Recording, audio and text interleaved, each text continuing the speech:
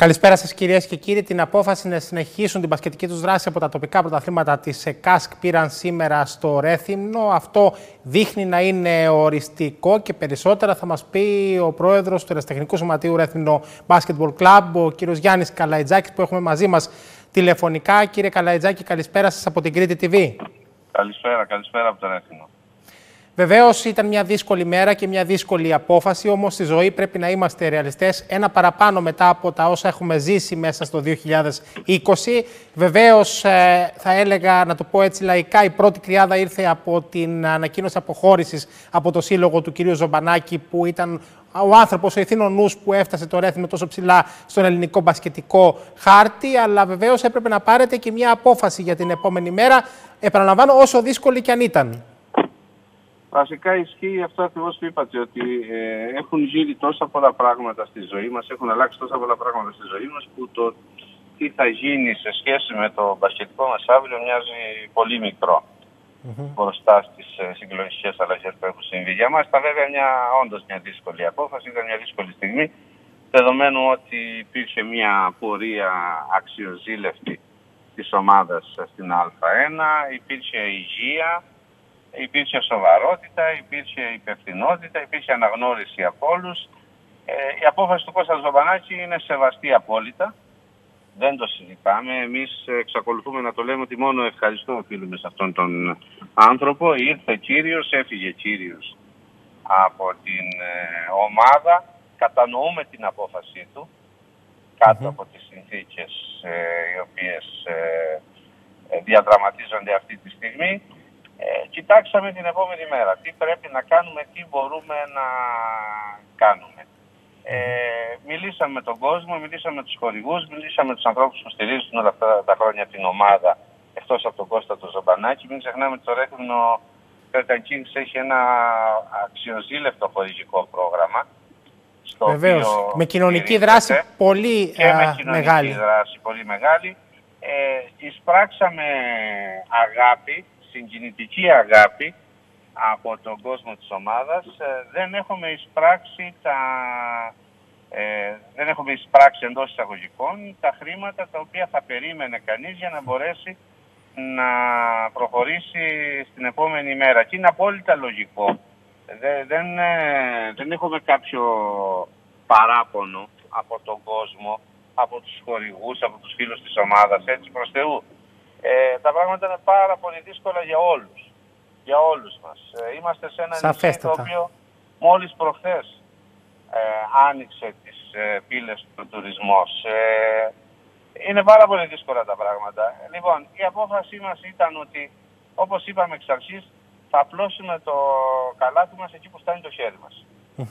Οπότε πρέπει να συνηθίσει πλέον και ο φιλαθρός κόσμος του Ρεθύμνου τη νέα εποχή στο πρωτάθλημα της ΕΚΑΣΚ. Κοιτάξτε, εμείς έχουμε πει από την πρώτη στιγμή και αυτό εξακολουθεί να ισχύει. Αν υπάρχει κάποιος ο οποίος ε, έχει τη δυνατότητα, έχει τη διάθεση, θεωρεί ότι έχει τον κύκλο, τους ανθρώπους, ότι μπορεί να αναλάβει την ομάδα και να την οδηγήσει στη Β' Εθνική, ε, οι παρετήσεις μας ε, είναι στη διάθεσή του, η βοήθειά μας ε, και η χαρά μας, αν συμβεί αυτό, είναι δεδομένη mm-hmm. σε διαφορετική... Χρόνος υπάρχει, διότι μέχρι την ε, δημοσιοποίηση των ειδικών ε, προκηρύξεων του πρωταθλήματος ε, της Β' Εθνικής μπορούμε να δηλώσουμε συμμετοχή ή να αποχωρήσουμε χωρίς επιπτώσεις. Ε, αν δεν συμβεί αυτό, η απόφασή μας είναι συγκεκριμένη. Κρατάμε ό,τι με υγεία, με σοβαρότητα, με καλή διάθεση γινόταν σε αυτή την ομάδα στην Α1, κρατάμε το κοινωνικό πρόγραμμα, κρατάμε τον εθελοντισμό, κρατάμε το assist, ε, το μπάσκετ για τα, τα παιδιά, τα μικρά παιδιά, τα κρατάμε όλα αυτά. Και πολύ καλά κάνετε. Τα αναδεικνύουμε όσο μπορούμε. Έχουμε τη στήριξη και τη βοήθεια για τον Κώστα Ζωμπανάκη ε, σε αυτό το κομμάτι. Ε, θα συνεχίσουμε να διοργανώνουμε το assist, θα συνεχίσουμε να έχουμε κοινωνική παρουσία και έργο, τον εθελοντισμό μέσα από ε, τα παιδιά μέσα από τα τμήματα των υποδομών.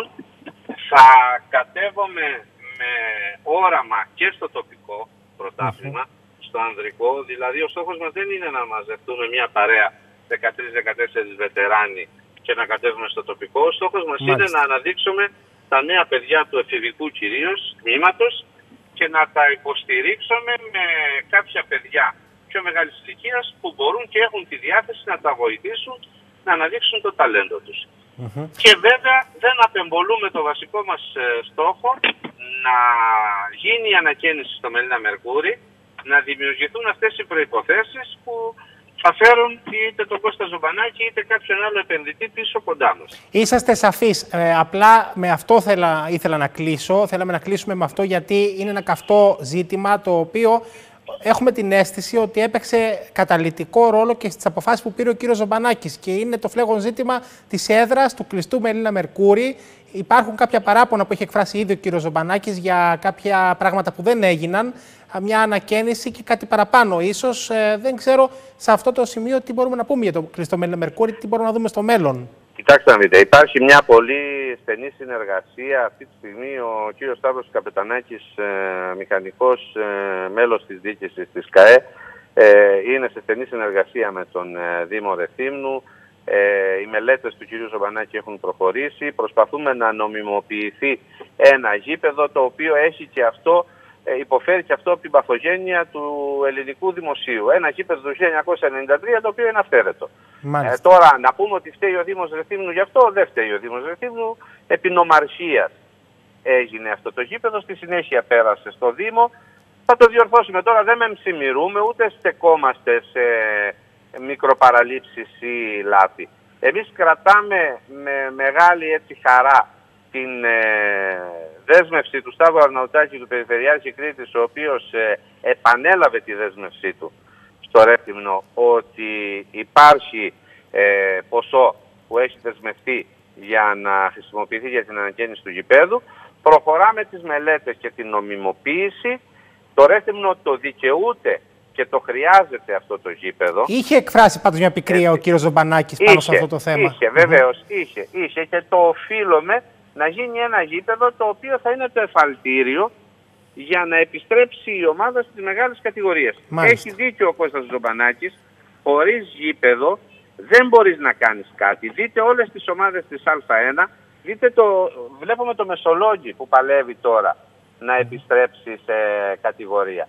Βλέπουμε το, το Μεσολόγγι τι τραβάει και τι υποφέρει και τι συζητήσεις, Δημοτικό Συμβούλιο, Πάτρα, πάμε, ερχόμαστε. Ε, θυμόμαστε τον Ιωνικό πέρυσι, η ΑΕΚ. Η ΑΕΚ ε, Μόλις φέτος μπαίνει σε δικό της γήπεδο.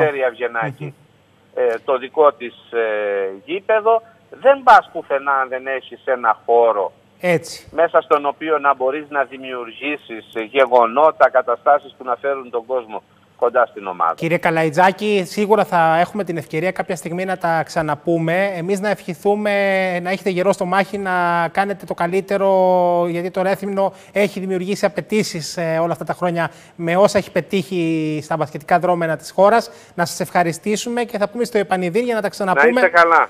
και σας ευχόμαστε υγεία και ό,τι καλύτερο για την επόμενη μέρα που είναι δύσκολη. Να είστε καλά. Ευχαριστούμε πολύ. Στη διάθεσή σας.